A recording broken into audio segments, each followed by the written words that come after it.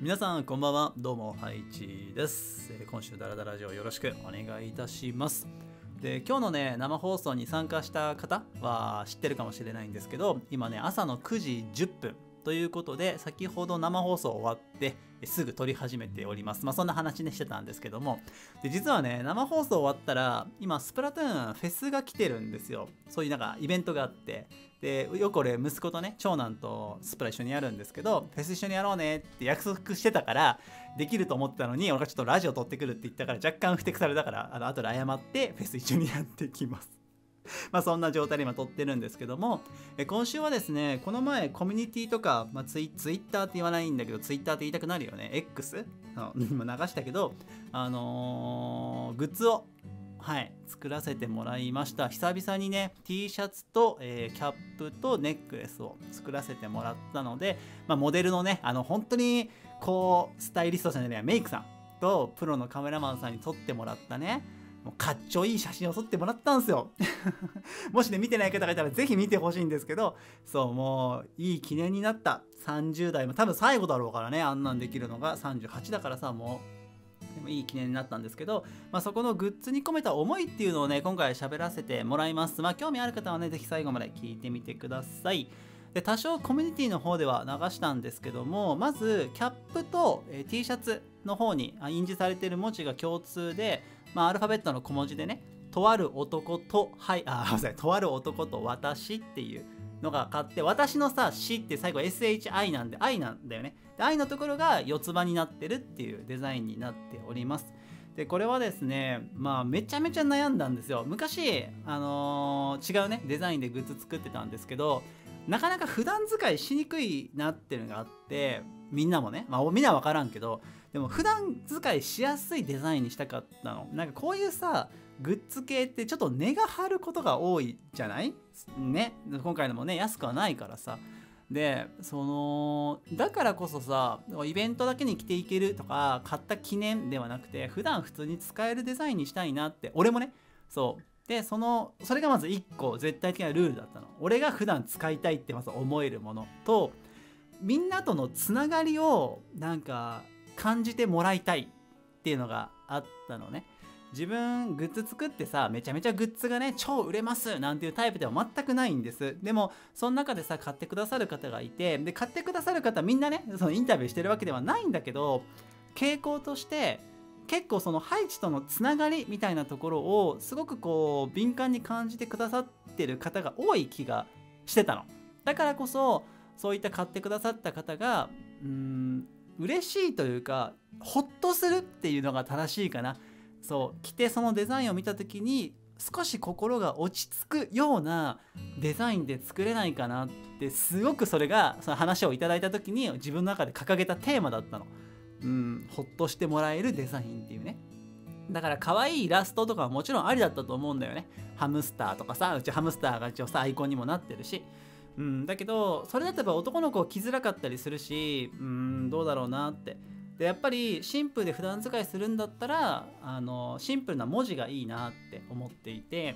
そうで行き着いたのが、まあ、とある男っていう言葉をなんか入れたいなって思ってそこで、まあ、チャンネル名でもいいかなと思ったんだけどそれもなんかちげえよなと思ってでなんかとある男ってまあハイチのこととある男って呼ぶ人も多いしだからとある男っていうのと私っていうその一人称をつけることによってみんなとハイチのつながりっていうのを感じてもらえるんじゃないかなって。でしかも私の死がちょうどね最後が四つ葉にできるし四つ葉自分のさなんかトレードマークだからさマークだしみんなにこういいことが起きますようにっていうのがちょうどミックスで伝えられるかなと思ってあのデザインにしました、はい、以前はね51対49っていうのを印字してるパーカーとキャップだったかな前回は。だったんですけど。で T シャツ作ったのが初めてだったんだけどあのそのねそのブランドというかその会社では。あのモデルの時に着させてもらったらさめちゃくちゃなんか着心地よくてそうよかった。なんかあれいいと思って。なんか質感？質感っていうの？着心地がね私好みだったんですよね。まあよくもしね買われた方いたらぜひ楽しみにしていてください。でネックレスの方は、まあ、よく使う51対49ですね、まあ、コミュニティにも書きましたけど私がよく言う人生はね51%の幸運と49%の不幸不運でできてるよっていう。まあ何度も聞いてるからね。もう耳にタコだよっていう方もいると思うんだけどもう一回言わせて。これはね人生ってさいいことばっかじゃないじゃん。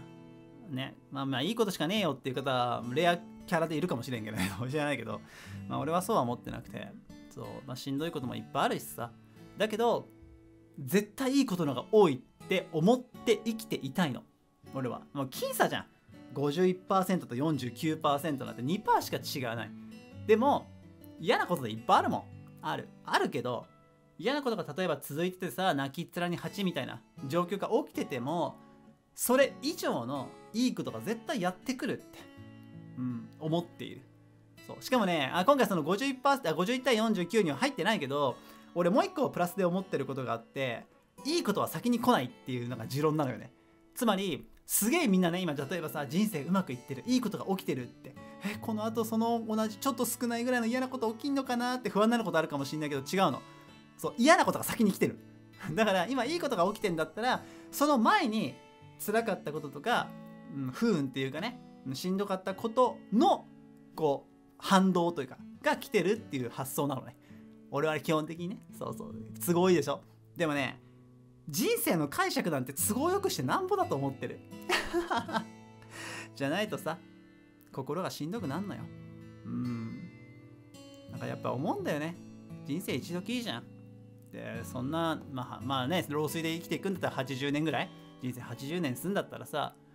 80年で終わるんだわ。この人生は。だったら全部がハッピー全部は楽しいはできんけど少しでもやっぱ楽しくしたい。少しでも笑っていたいしうん少しでも誰かを笑わせて笑わせるって言いたいっていうか俺はまあちょっと人をさ笑わせるっていうのは得意ではないので安心してもらいたいんだよね。うんほっとしてもらいたい。そうだから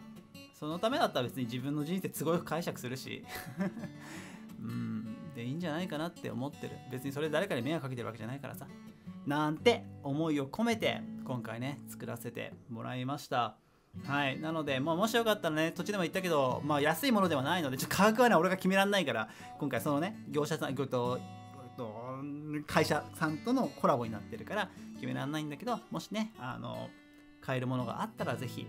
買ってみてくださいちょカラーもね5色ぐらい全部ありますので気になるものがあればぜひよろしくお願いします。あのー、なんだっけ、コミュニティとかツイッターに流してない写真がね、いっぱいホームページに載っているので、そう、もうレアだよ。見れないよ、もう。あれ9月25ぐらいまでの受注生産だから、それ終わったら多分もう見れなくなっちゃうので、そうだからよかったらね、写真だけでも見てやってください。38歳、頑張ったぜ。